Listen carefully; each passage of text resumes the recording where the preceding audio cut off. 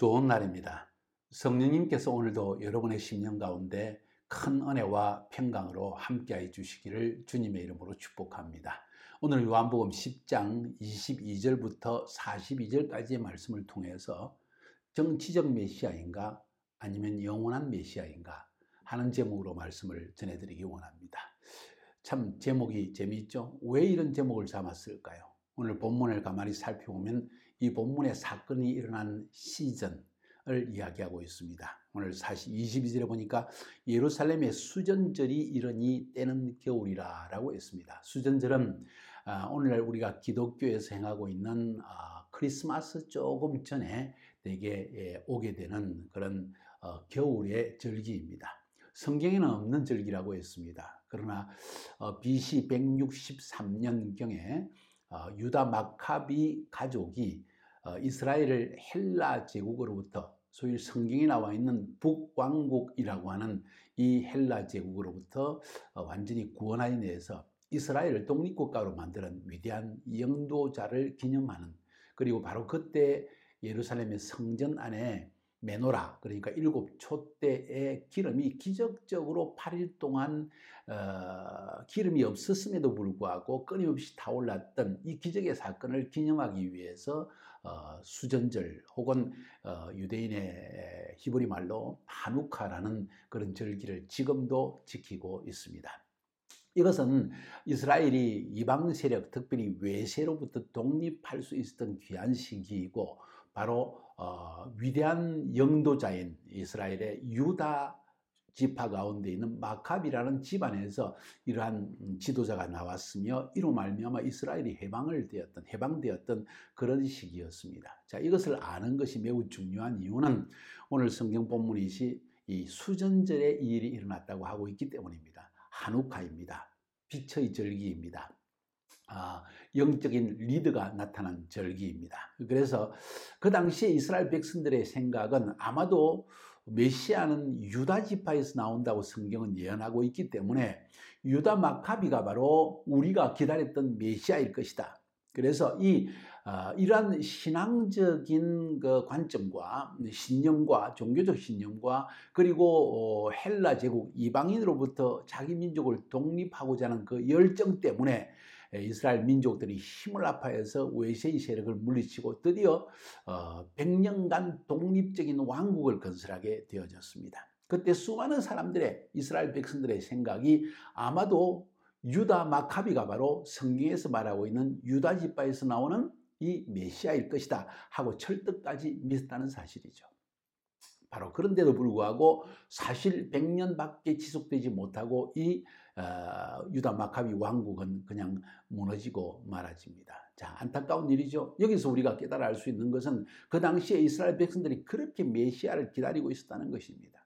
그런데 메시아에 대한 그들의 기대 혹은 그들의 관점 혹은 그들의 관념 여기에 문제가 있었습니다. 성경을 읽을 때마다 그들은 지금 현세의 세상에서 자기의 삶을 구출해 줄 그런 정치적인 메시아 혹은 가난으로부터 그들을 구원해 줄 경제적 메시아 혹은 내 영혼의 어, 어두움으로부터 나를 평안하게 해줄 어떤 도덕적 메시아 이런 메시아만을 기다리고 있었지 그들의 관념 속에서 메시아가 우리에게 죄를 사해주고 영원한 생명으로 인도한다는 이런 개념 자체가 없었다는 걸 알 수 있습니다. 예수님 시대도 마찬가지였습니다. 그래서 그 당시에 대제사장 소위 사두개인들 청에서 나온 이 대제사, 대제사장 그룹들과 또 어, 바리새인 그룹들 이런 사람들은 모두 다가 정치적 메시아를 기다리고 있었다고 해도 과언이 아닙니다. 물론 바리새인들은 부활을 믿고 영원한 생명을 가져올 메시아에 대한 생각은 있었지만은 아직도 그 메시아가 과연 우리 죄를 사하기 위해서 십자가에 죽으시고 우리 죄를 대신 짊어지시고 그러나 다시 부활하셔서 어, 하나님의 아들로서 우리를 영원한 생명으로 인도하시는 분이라는 것 바로 그 메시아라는 사실은 아직 인식하지 못했던 것입니다. 바로 여기에 대한 관점을 주님께서 혁신적으로 바꿔주기 위해서 오늘 이 설교를 하고 있는 것입니다. 한우카입니다. 이스라엘 백성들이 그토록 염원하고 기다리던 정치적 메시아가 유다 마카비 시바인 줄 알았는데 아니었다는 것이죠. 지금 로마 제국의 압제하에 있습니다. 하누타 유다 아, 마카비의 집안에 의해서 독립되어진 이스라엘 어, 나라는 100년이 지나고 나서 어, 헬라 제국 그러니까 그리스 제국이 멸망당하고 난 다음에 로마 제국이 다시 또 들어와서 이 이스라엘을 지배하기 시작했습니다. 다시 이방 세력의 손안에 들어간 것이지요. 그들로서는 이해할 수 없고 왜 유다 마카비는 과연 메시아가 아니었던 것인가? 그렇다면 로마 제국으로부터 우리를 고나해 줄 메시아는 누구인가? 하고 기다리고 있었는데 예수라는 분이 나타난 것입니다. 죽은 자를 살리시고 병자를 고쳐주시고 물 위를 걸으시고 오병이의 기적을 일으키신 예수. 그리고 예수님이 말씀해 나는 세상의 빛이라고 말씀하시고 나는 양의 목자다. 나는 선한 목자다. 그리고 나는 길이요 진리요 생명이다. 이런 말씀들이 그들의 관점에서는 정치적 메시아 로 들렸던 것입니다. 우리를 구원할 길이 되시는 분이구나. 우리의 참된 리더시구나. 우리의 목자시구나. 우리에게 빛이 되시는 분이시구나. 이런 믿음을 가지고 그들은 예수를 따랐고 또 예수님으로부터 그것을 기대했던 것입니다. 근데 오늘 성경 말씀에 보니까 좀 다른 이야기가 나옵니다. 예수님께서 우리에게 어, 알려주고자 하는 메시아상, 정말 우리 이, 이, 이 땅에 살고 있는 한, 에, 사람들이 기다려야 될 참된 메시아는 정치적 메시아가 아니다. 우리를 빚으로부터 구원해 줄 경제적 메시아도 아니다. 우리에게 마음의 평안을 주는 명상을 통하여서 어, 마치 이 해탈의 경지에 이르도록 하는 이러한 어, 도덕적 혹은 어, 명상적 메시아도 아니다. 이것은 실질적으로 육신적으로 영적으로 혼적으로 완전한 구원을 주시는 영원한 메시아지라는 사실을 오늘 성경 본문은 우리에게 말하고 있습니다. 이 말씀을 듣는 여러분들 오늘 이 본문 말씀을 통해서 예수님이 하시는 말씀을 한번 잘 귀 기울여 보십시오. 이스라엘 백성들은 그토록 정치적 메시아를 기다렸는데 주님은 지금 다른 이야기를 하는 것입니다. 수전절, 한우카, 예루살렘에서 이 절기를 지키는 그런 시즌이었습니다. 예수님도 절기를 지키러 오셨습니다. 예수님께서 성전 안에 솔로몬 행각에서 거니시니까 유대인들이 애워사서 바리새인뿐만 아니라 모든 유대인들이 믿기를 이 예수가 아마도 우리를 로마의 압지에서 구원해 줄 메시아가 틀림없을 것이다 하는 그런 믿음이 그런 생각들이 가득 차 있었다는 것입니다. 메시아의 관, 메시아는 누구인가, 무엇을 하는 분인가, 정치적 메시아로 알았다는 것입니다. 그래서 언제까지 우리 마음을 미혹하게 하려 하시나이까? 그리스도시면, 더 메시아시면 확실히 말씀하소서. 그리고 우리를 로마 제국에서 구원하소서. 이런 개념도 달려 있는 것입니다. 그러니까 예수님께서 말씀하시기를 내가 너에게 말하였을 때 믿지 아니하였도다. 내가 내 아버지의 이름으로 행하는 일들이 나를 증거하는 것이거늘 너희가 내 양이 아니므로 믿지 아니하는도다. 무슨 말씀입니까? 내 양은 내 음성을 듣는다고 이야기했습니다. 양과 목자의 관계, 양과 리더의 관계에 대해서 지난 시간에 살펴보았습니다. 참 양은 목자의 음성을 듣는다. 근데 그 목자는 아버지의 일을 행하는 자이다. 그 아버지는 나중에 뒤에서 말씀하시는 나와 아버지는 하나님은 하나이다. 하고 말씀하신 것처럼 하나님의 일을 행하는 그분이 바로 나이다. 그분이 바로 메시아이다. 내 이름으로 행하는 그 어, 일들이 나를 증거한다. 나를 증거한다. 다시 말해서 내가 하늘에서 온 분이요. 내가 너희의 메시아라는 것을 증거하는 것이다. 그런데 너희들은 내 양이 아니기 때문에 믿지 못하고 방황하고 있는 것이 아니냐. 바로 구장에서 본 것처럼 날 때부터 소경된 자는 바로 하나님의 양이었습니다. 예수님의 양이었습니다. 목자 대신 주님의 음성을 듣고 그 음성을 음성에 순종하여서 실로암 못에 가서 1km의 길을 안식일에 걸어가서 순종함으로 구원함을 받았다는 사실을 구장에서는 우리가 배웠습니다. 내 양은 너희는 내 양이 아니기 때문에 믿지 않는다. 그런데 27절에 내 양은 내 음성을 들으며 나는 그들을 알며 그들은 나를 따른다. 이게 바로 영적인 하나됨이라는 것입니다. 마치 성부 하나님과 성자 예수님이 영적으로 하나 되어서 아버지께서 시킨 일을 이 성자 예수님이 하신 것처럼 예수 믿는 우리도 역시 우리가 그분의 양떼가 되었다는 것은 그분의 음성을 듣고 그분과 우리가 하나 되어서 그분의 일을 행하는 것을 통해서 사람들이 예수를 믿게 하는 이것이 우리가 해야 할 일이라는 것을 성경은 말해주고 있습니다. 그러면서 여기에서 주님은 정치적 메시아가 아니라 영원한 생명을 주시는 영원한 메시아라는 사실을 우리에게 말해주고 있습니다. 내가 그들에게 영생을 주노니 영원히 멸망하지 아니할 것이요 또 그들을 내 손에서 빼앗을 자가 없으리라. 그분은 단순한 정치적 메시아, 그리고 시대가 지나가면 또 다른 정치적 메시아가 나타나는 이런 메시아가 아니다. 경제적 메시아, 지금 어, 배고픔과 가난과 경제적인 어려움을 그리고 이런 것을 타개해 주는 그런 정도의 경제적 영역에서의 메시아가 아니다. 그분은 영원한 메시아이다. 영원한 생명을 주시는 분이고 영원히 멸망하지 않게 하고 그들을 죄에서 구원하고 그리고 그분은 전능하신 하나님이시기 때문에 그들을 주님의 손에서 빼앗을 자가 없다. 사단도, 세상도, 가난도, 질병도, 예, 혹은 공산주의도, 무엇도, 어떤 이념도, 어떤 체계도 하나님의 백성을 무너뜨릴 수 없다. 여러분, 이런 메시아를 영접하지 않겠습니까? 예수님은 영원한 메시아라는 것입니다. 정치적 메시아가 아니요. 경제적 메시아가 아니요. 단순히 도덕을 외치는 도덕적 메시아도 아니고 그분은 바로 영원한 메시아시다. 왜? 나와 아버지는 하나이기 때문이다. 주님이 그렇게 말씀하십니다. 하나님과 내가 하나다는 것은 그분이 하나님이라는 것이지요. 이 사실 때문에 이제 31절부터 39절까지에 보면 유대인들이 돌을 쳐서 예수님을 죽이려고 합니다. 예수께서 말씀하시기를 내가 아버지로 말미암아 여러 가지 선한 일로 너희에게 보였거늘 내가 이렇게 많은 선한 일을 하늘에서 온 분이라는 것을 하늘 아버지의 아들이라는 것을 메시아라는 걸 보여주는 수많은 일을 했는데 그 중에 어떤 일로 나를 돌로 치려 하느냐 그들이 대답합니다 선한 일로 말미암아 우리는 너를 돌로 치는 것이 아니다 신성모독으로 인함이니 네가 사람이 되어서 자칭 하나님이라고 말하지 않았느냐 하나님과 네가 하나라는 것은 네가 하나님이란 말이 아니냐 이런 이야기를 합니다. 잘 들어보십시오. 예수께서 이렇게 말씀하십니다. 너희 율법에 기록된 바 내가 너희를 신이라 하였노라 하지 않았느냐. 내가 너희를 신이라 하였노라.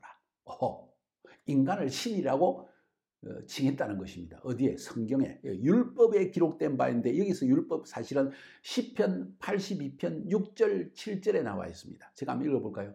내가 말하기를 너희는 신들이며 다 지존자 전능하신 하나님의 아들들이라 하셨으나 그러나 너희는 사람처럼 죽으며 고관의 하나같이 넘어지리로다. 무슨 이야기입니까? 사람인데 너희들은 하나님의 영을 가진 존재요. 하나님의 형상대로 시험받은 존재요. 너희는 바로 하나님과 같은 존재이다. 그런데 너희들이 사람처럼 되어져서 소위 세상 사람들이 말하는 사람의 모양을 하고 사람의 짓을 하고 그리고 고관 다시 말해서 약탈하고 죽이고 빼앗는 이런 사람들과 같이 넘어지고 마는구나 하는 이야기를 하고 있습니다. 여기서 중요한 개념은 하나님께서 우리 인간들에게 언급하시기를 너희도 하나님의 아들들이다. 너희가 다 신들이다. 자, 이거 기가 막힌 혁신적인 말씀입니다. 이 말씀 안에 내포된 내용은 무엇인가 하니 하나님이 신이시고 우리가 그 하나님의 형상대로 지원받았으며 우리 안에 하나님의 영이 살아계시기 때문에 우리도 하나님의 신적 형상을 지니고 있어 우리를 신이라고 일컫는 이 말씀 다시 말해서 하나님과 우리도 하나라는 거예요. 어떻게? 죄에서 벗어나게 되어질 때 죄의 사함을 받게 될 때 또 어떻게 성령님이 내 안에 들어오게 되실 때 우리는 하나님과 같은 존재라는 것을 성경은 말하고 예수님께서도 그렇게 말씀하시는 것입니다. 예수께서 이러시되 너희 율법에 기록된 바 사실 시편에 기록된 말씀입니다. 내가 너희를 신이라 하였노라 하지 아니하였느냐? 성경은 패하지 못하나니 하나님의 말씀을 받은 사람들을 신이라 하셨거늘 하나님의 말씀을 받은 사람을 신이라고 했다. 하나님의 말씀을 받은 사람은 신이다. 어, 나중에 요한복음 6장 63절 어, 앞부분에서 봤죠. 어, 내가 너에게 이런 말, 말씀이 영이요 생명이니라. 하나님의 영이 말씀을 받은 사람은 하나님의 영을 받은 사람이다.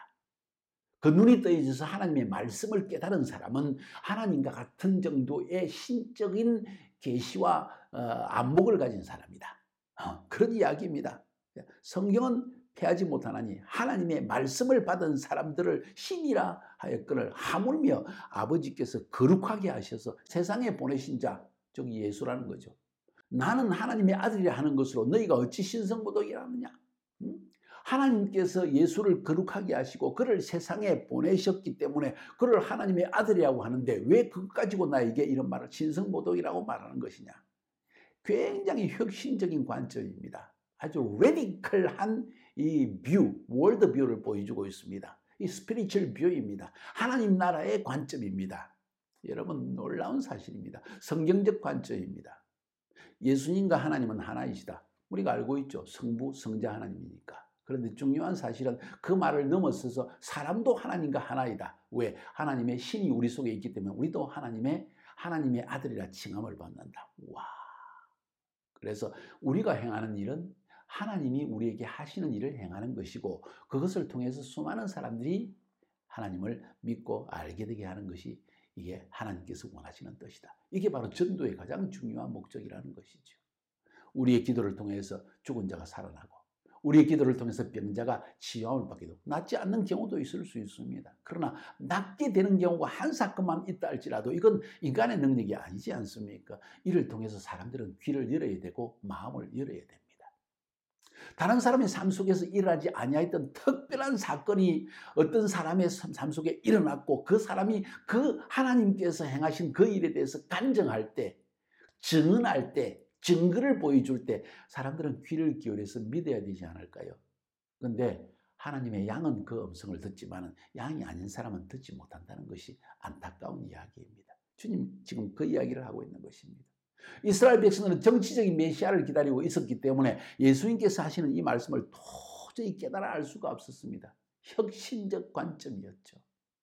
단순히 로마 제국에서 구원한 정치적 메시아를 기대했는데 실상 예수님께서는 정치적 경제적 메시아가 아니라 도덕적 메시아가 아니라 이분은 바로 영적인 메시아요 영원한 메시아였다. 그분은 영적인 메시아요 영원한 메시아라는 것은 우리의 영혼육의 모든 문제를 송두리째 해결하는 그런 하늘로부터 온 메시아라는 사실을 우리에게 말해주고 있는 것입니다. 할렐루야.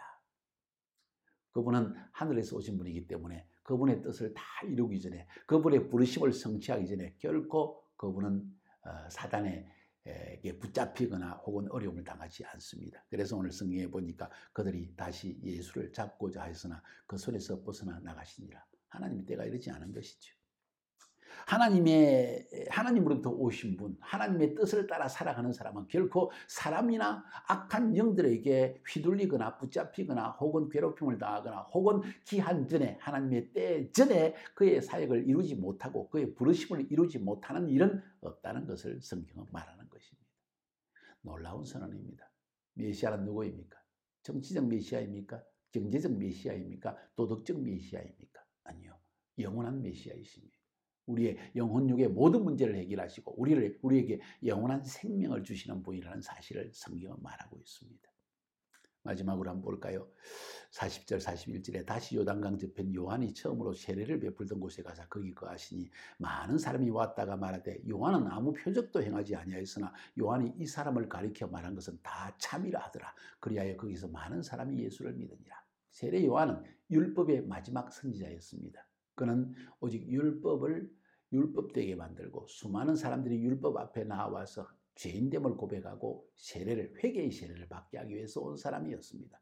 그래서 그는 하늘에 하늘에서 오신 하나님의 아들로서 하나님과 하나 된 사람으로서 행하는 기적과 표적과 이사를 행할 수는 없었다고 성경은 말합니다. 그러나 예수님께서 오셔서 메시아의 메시아 되심을 보여주셨습니다. 어떻게? 아버지와 나는 하나이니라. 하나님의 영을 받은 자로서 하나님의 능력으로 수많은 사람을 치유하시고 기적을 행하시므로 그분은 영원한 메시아라는 사실을 우리에게 나타내 보여주신 것입니다. 이 영원한 메시아를 믿지 않겠습니까?